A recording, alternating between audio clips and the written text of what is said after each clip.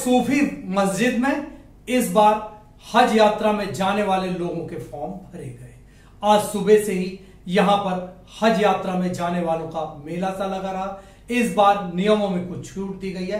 पैंसठ साल से ज़्यादा उम्र के लोग भी हज यात्रा में जा सकते हैं। देखिए हमारी यह खास रिपोर्ट। रीवा के सूफी मस्जिद में हज यात्रा में जाने वाले लोगों के सुबह से भरे गए फॉर्म।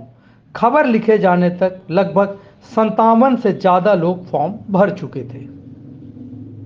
ये सूफी मस्जिद में से आप, मैं बोल रहा हूँ तो यहाँ पर हज हज के फार्म भरे जा रहे हैं। और, इंशाल्लाह इस बार अपने यहाँ काफ़ी लोग हज के फॉर्म भरे गए हैं। हज के फॉर्म भरे जा रहे हैं। यहाँ पर काफ़ी लोगों ने हज के फॉर्म भरे हैं। यहाँ पर आज सुबह से ही आने जाने वाले लोगों का जमघट था। हज में जाने का समय आ गया उसकी तैयारी के लिए यहाँ पर लगातार लोग आ रहे थे जा रहे थे। हज की बात हो रही है। इस्लाम में पाँच चीज़ें कौन सी हैं जो ज़रूरी हैं? सबसे पहले तो ला इलाहा मोहम्मद रसूलुल्लाह इस्लाम का पहला सुतून है। उसके बाद रोजा नमाज़ जक़ात और आखिरी में है हज। हज। आखिरी में है हज, आज बात हज को लेकर होगी। आप थोड़ा सा खड़े हो जाए तो बेहतर होगा। काफ़ी अरसे से आप लगातार हज में जाने वाले लोगों का इंतज़ाम करते रहे हैं। पिछले बार और इस बार के मुकाबले क्या है खास? देखिए, पिछले 22 साल से लगातार वहीदुलनिसा मेमोरियल ट्रस्ट के तरफ़ से हम ये हज में जाने वाले लोगों के फॉर्म भरते रहे हैं।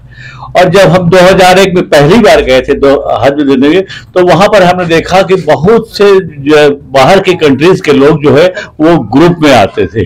और तो हमको देख, और एक उनका अमीर होता था, वो वो जो दुआ वगैरह है, वो पढ़ते जाता था और सब लोग कर जाते तो हज में जाना तो बहुत अच्छी बात है, लेकिन सबसे अच्छी बात है कि हज के अरकान को सही ढंग से करना भी बहुत ज़रूरी है। हज के अरकान को सही तरीके से करना ज़रूरी है। जिस तरीके से आज आप लोगों ने फॉर्म भरवाए। क्या ये माना जाए यहाँ पर ट्रेनिंग कैंप भी लगेगा? जी हाँ। जैसे ही शासन की तरफ़ से जो है लिस्ट जारी होगी कि किन किन लोगों को हज में बुलाया गया है उन लोगों के लिए हम जो है दो ट्रेनिंग प्रोग्राम का इंतज़ाम करते हैं। ट्रेनिंग प्रोग्राम का भी इंतज़ाम करेंगे। अपने आप में ये एक काफ़ी बड़ी बात होगी। लगातार यहाँ सुबह से ही लोगों का मेला भर लगा रहा। लोग यहाँ पर फॉर्म भरते नज़र आए। किस तरीके से लोगों की आवाजाही थी यहाँ पर?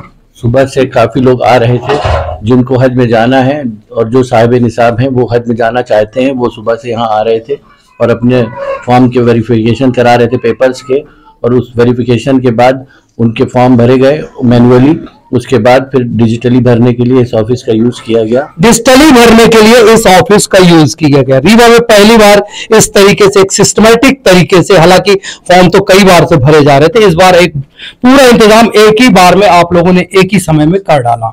जी। अब आगे क्या? आगे मतलब यहाँ से पूरे फार्म लगभग सेवेंटी फार्म लगभग भरे जा चुके हैं। और आगे जब जैसे वहाँ शासन का मार्गदर्शन मिलेगा अपने का, दस तारीख लास्ट डेट है इसकी। दस तारीख लास्ट डेट है, इसका मतलब अभी और फॉर्म भरे जाएँगे। दस तारीख लास्ट डेट है, अभी आप लोगों ने बताया कि आज आप लोगों ने फॉर्म भर दिए हैं ऑनलाइन फिलअप कर दिया है। साथ ही आपने ये भी बताया कि हज में जाना क्यों ज़रूरी है।